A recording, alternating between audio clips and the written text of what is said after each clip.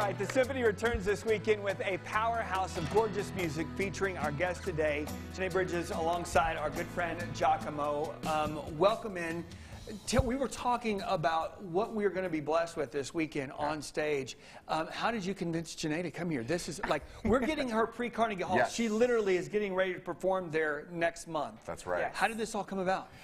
Well, I had seen her. Actually, she's a quite a, a savvy social media queen, and I had, I had started following her and seeing what she was doing, and I, I, had found out through friends of ours, mutual friends of ours, and you know, I heard her sing online. I was like, oh my gosh, it'd be amazing to have her. She's a rising star. She's got such a bright future ahead of herself. She just came from the LA Opera, and this was a very powerful piece that she's performing, Gustav Mahler's Kindertotenlieder, which is very heavy and dark, and sort of the themes of it are very um, powerful, and you need a voice voice that can sort of back that up. You can't just have any voice. And once I heard her, I knew she was the one. That is wonderful. Wow. So, Janae, that, Thank you. I mean, we were talking before we went on camera. You just got back from LA, stopping in Amarillo, going to end up being in Carnegie Hall. What is it like to perform in some of the the, the best space, the, some of the most incredible spaces in the country? I mean, to be honest, sometimes I don't believe what my life is because I, it just it feels so amazing and it feels like fun. Like I'm not working because I love it so much. Um, but, you know, I stepped into the Globe News Theater yesterday and my breath was taken away. It is mm. absolutely gorgeous. The acoustic yeah. is incredible. It's the perfect size. And I, am just so happy to be singing here in Amarillo, this gorgeous piece of well, music. We are happy that you're here. So tell me why this piece, tell me, tell me why it speaks to you particularly? Wow. Well, for many reasons. First of all, I love singing in German. I absolutely love it. Her German is incredible.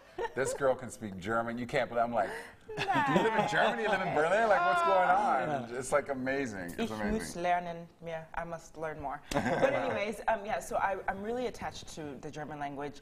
Also, the subject matter, um, you know, it's, it's dark. Yeah.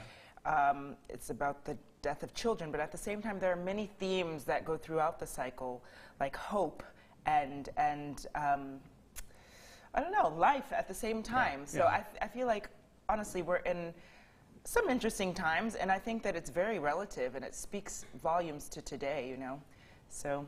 Art always speaks to us, and, yes. and, and, and more so and louder in times of trouble than ever.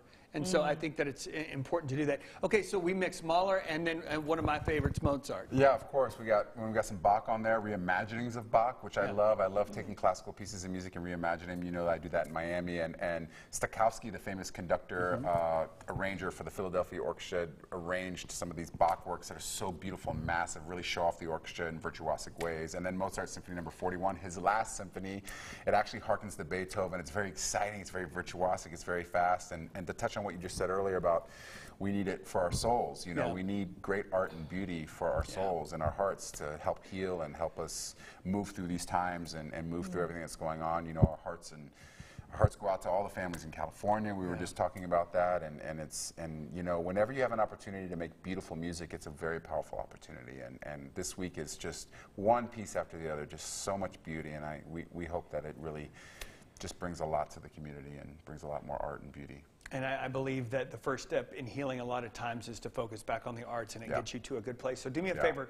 Um, yeah. Most of the time, these performers, I mean, we talk about you performing in, in Miami. You just got back from Los Angeles. You're going to Carnegie Hall. We have them in Amarillo this weekend. Mm. Uh, tickets are next to nothing. I think it's 20 bucks to get in. AmarilloSymphony.org. You can get more information. 376 8782. Please remember, if we don't support the arts, no one will. So get out there, be a part of it, and be oh, blessed in the process. Guys, thank you for being here. Stay tuned. We're headed into the kitchen.